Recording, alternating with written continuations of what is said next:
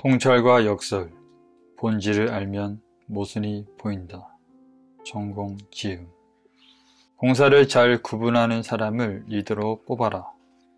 공인은 자기 자리에서 도덕성을 가지고 주어진 일에 최선을 다하고 항상 타인의 기감이 되는 사람이다.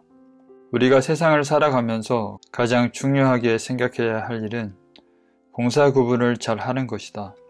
사람이 공적인 것과 사적인 것을 구분하지 못하면 성장의 걸림돌이 되거니와 나중에 큰 문제가 생길 수도 있다.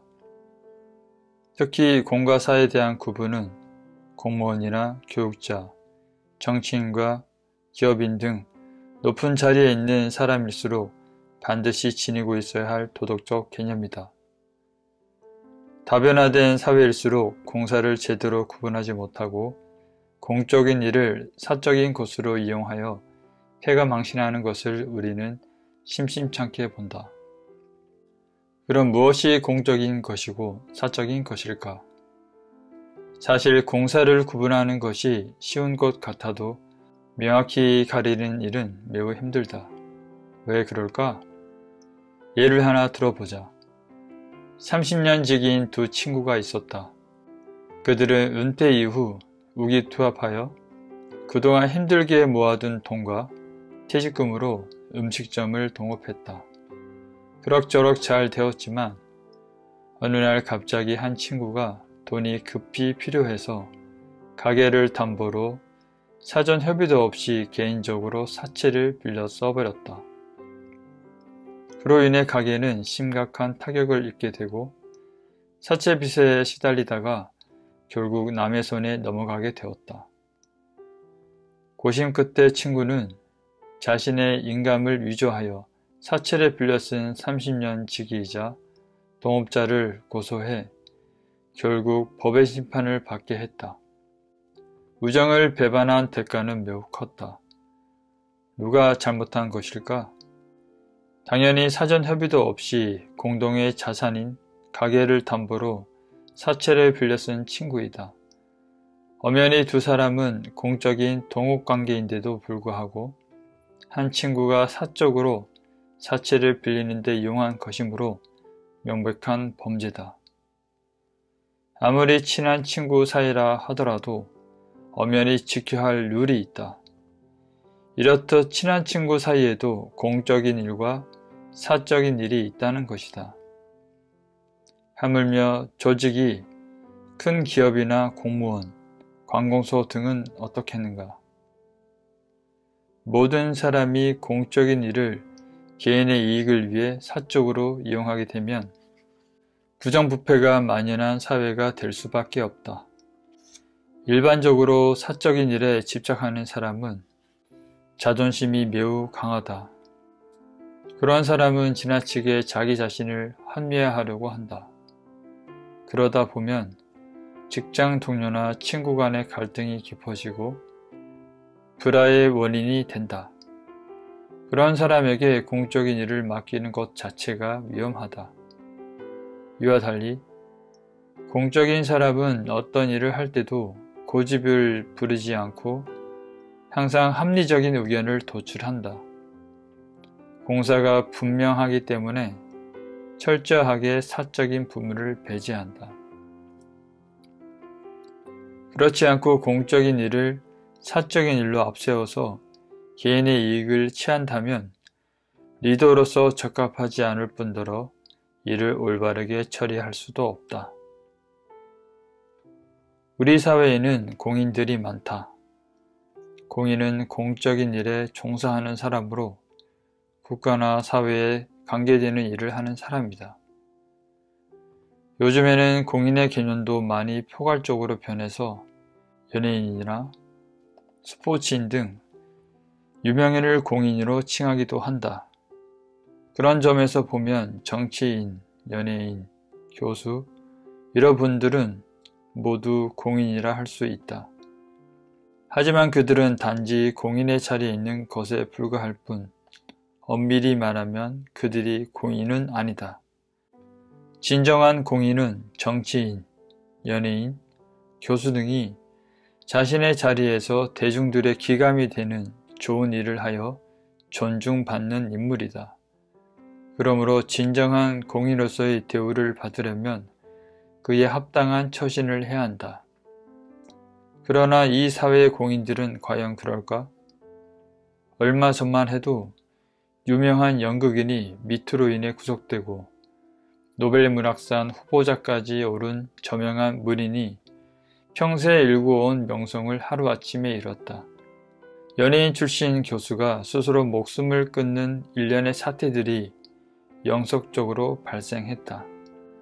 원인은 공인으로서 지켜야 할 도덕성을 잊었기 때문이다.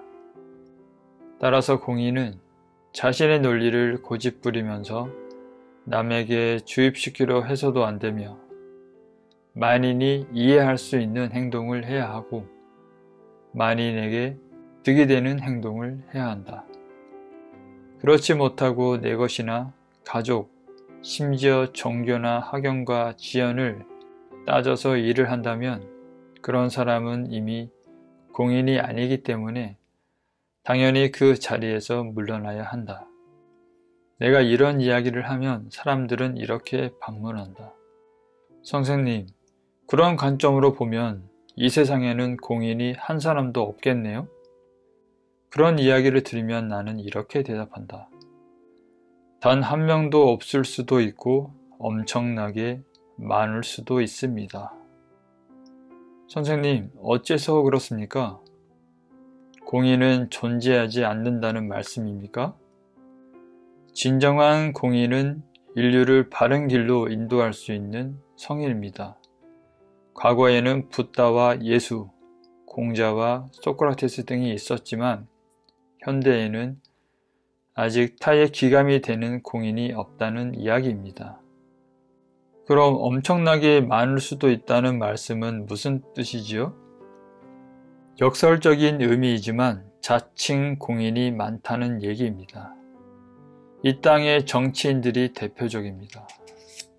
그들은 마치 이 세상을 자기 것인 양 주무르고 있는데 그들은 권력에 눈이 먼 자들입니다.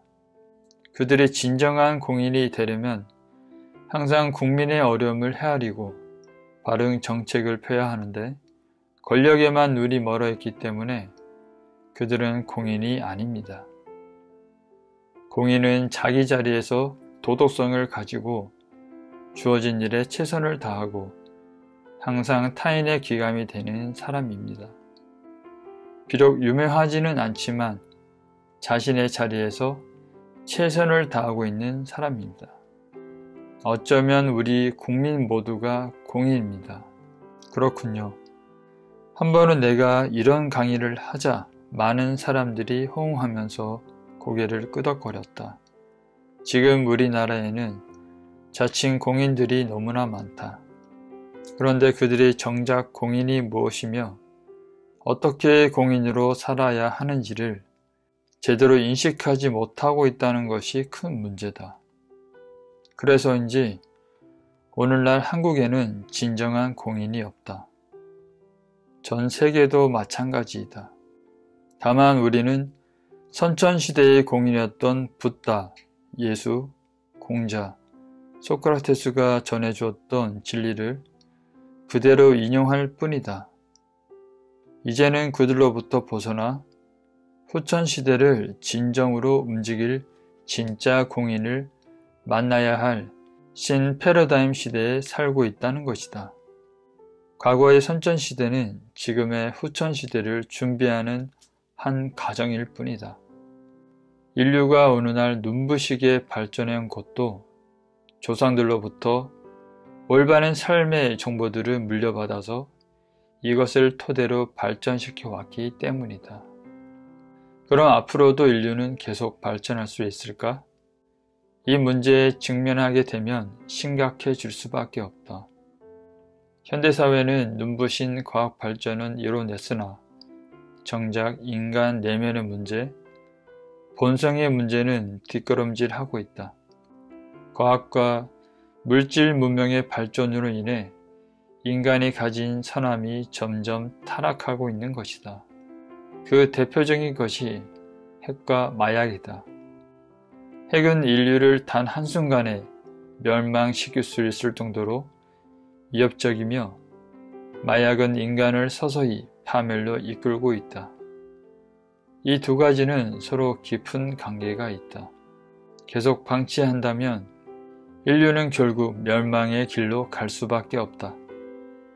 따라서 오늘날 같은 후천 시대에는 이러한 문제를 단번에 없애고 인간성을 회복시킬 수 있는 현자가 하루빨리 나타나야 하지만 아무리 둘러봐도 눈에 보이지 않는다. 인간성이 회복되려면 그 첫 번째 걸음이 바로 공사를 구분하는 것이다.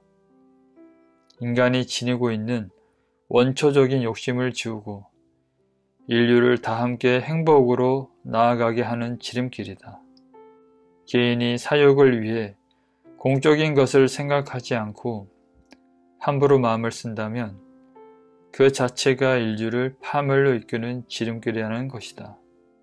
만약 핵을 가지고 있는 김정은이 정권 유지를 위해 갑자기 정신이 돌아서 핵을 쏘아 버린다면 어떤 결과가 빚어질까? 우리나라는 물론 전 세계가 핵 전쟁에 빠져버릴 것이다. 여기에서 우리가 김정은에게 요구하는 것은 북한 사람들의 생명과 인류를 사랑하는 공인 정신이다.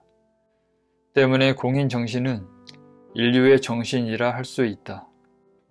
그에 대한 출발이 바로 공사를 잘 구분하는 것이다. 특히 나라를 움직이는 정치인은 철저한 공인 정신을 가져야 한다.